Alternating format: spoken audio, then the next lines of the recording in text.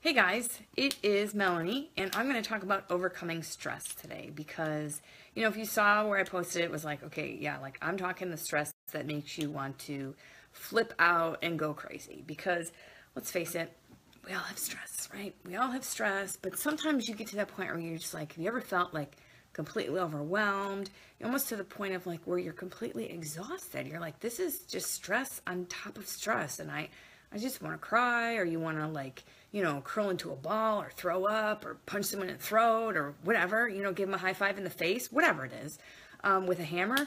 Uh, you know what? That, that kind of happens to a lot of us. And so I'm just going to kind of tell you, like, you're human. It, it's normal.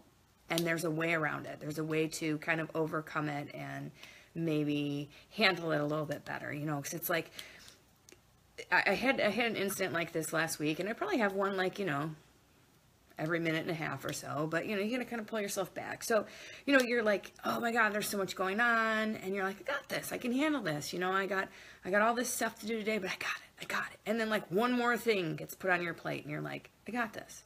And then all of a sudden, it's like, I don't got it, I don't got it, and I don't have any idea what's going on, and you just, you get overwhelmed, and and then you're like, okay, if one more thing gets added, I, am to flip out. I'm to explode. And, and all hell is to break loose and nobody's really to like me.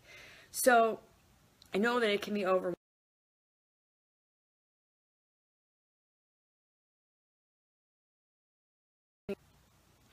Hey, and then your internet cuts out on you and you flip out again. This, this, this probably will happen a few more times, just to let you know. This is how it goes. Um, so yeah, I, I, I just want you to know that I can relate to that. And I'm sure a lot of people can relate to what I just said. And they're like, God, I, yeah, what do I do? How do I de-stress? How do I decompress? How do I get over it? How do I move on? So, you know, sometimes seriously you do, you just have to let it all out. You have to scream and shout and let it all out. Whatever it takes, you know, dance around, spin yourself around, do the hokey pokey. But really, get it out write it all down. Write down all the things that you're like oh my god i'm overwhelmed and, and this and that and and and just look at it all. Because sometimes when you sit there and you figure it all out because you have to do this because we're we have to adult. I know adulting is hard these days and we just can't even. Um, but you have to kind of figure out what is absolutely necessary on that list that's maybe stressing you out. What is absolutely necessary? And then you know what is really like optional you know, I mean, like, yeah, you kind of have to do the, the things that are adult things, but like maybe you don't really need to go let Susie's dog out. I don't know. Right. And, and maybe that's stressing you out because it's adding an extra five, ten minutes to, you know, you having to be on this side of, of town to pick up so-and-so from football and then take the other one to dance over on this side of town and then get home and cook dinner. And then, oh my gosh, I still have laundry to do and whatever it is, whatever it is. Some of it is optional. I know you don't think it is. I know, I know you don't think it is. So you have to identify what these things are, the optional things, you know, that are causing you so much grief and so much stress. And, and is it mandatory? Is it like absolutely mandatory that I go and let the dog out next door at someone's house? If it's stressing you out, no, it is not mandatory, okay? So what is the solution? What what is the solution? So we kind of have to accept like, yeah, you know, like a lot of these things are mandatory. They have to be done. They're like non-negotiables. But what about the things that aren't so, you know, are, are optional? What do you do? So you kind of have to try to figure out like, well, what what made me get so overstressed? Because guess what? Yeah, we are responsible for certain things. Whether we want to point the finger at someone else or not, we're kind of responsible for it. And we have to take ownership of it and figure out like, did I take on too much today? Did I say, you know, because sometimes you just you just want to get it all done and be done with it and, and just call it a day and be done. Like, oh, I'll just do that, whatever. I'll just get it done. Who cares? Nobody else is going to do it. But did you take on too much? Did you say yes to too many things that you shouldn't have? Did you maybe underestimate the amount of time it was going to take you to do certain things? These are all things that can be changed to make your life a lot less stressful. And that's kind of where I'm saying, like, get it all out identify what is mandatory and what isn't, and then figure out what you're going to do about it. Like, how are you going to make the changes? You know, maybe the optional stuff can just stay optional. Maybe you can be like, not doing it. I'm going to pass it off to someone else. Because guess what? They may do a better job than you, and it's okay to pass it off to someone else. It really is with certain things. Um, you know, delegate it, politely decline certain things when people are always asking you to do that. Because if it's stressing you out, you're never going to overcome it if you don't realize, hey, these things are optional. I don't really have to do them. It's not something that is a non negotiable in my daily life. And it's causing me stress, and I want to throat punch people. It's not worth it. Totally not worth it.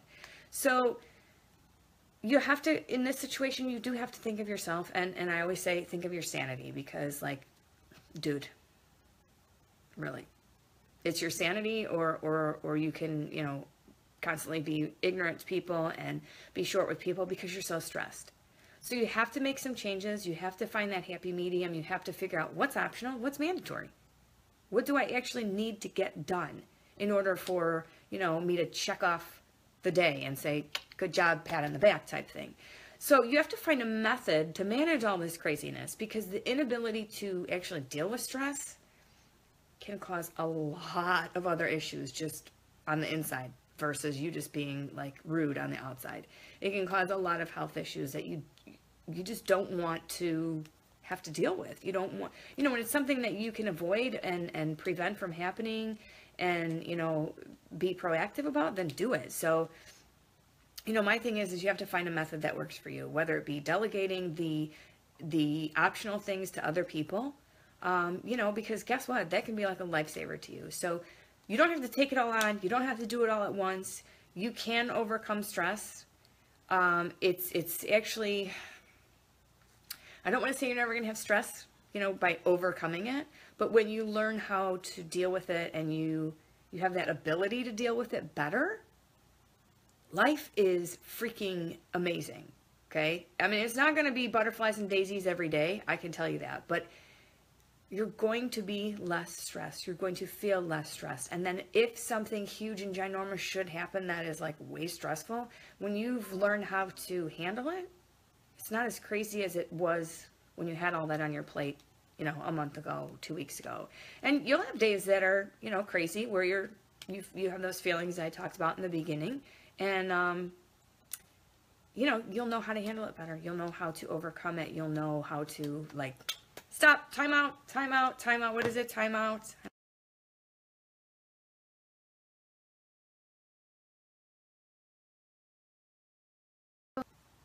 See, so like normally that would have really stressed me out that my internet kind of went out a second time.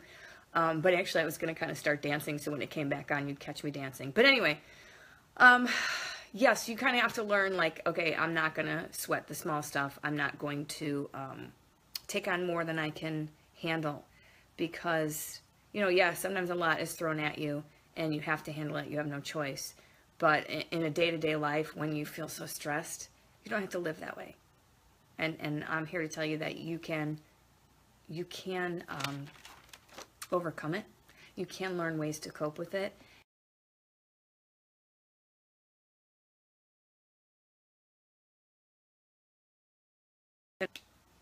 And I'm back. Okay, see, I told you it was, was totally going to do that before I said goodbye. It cut me off and I didn't like it. I wasn't even about to let it end without me saying goodbye.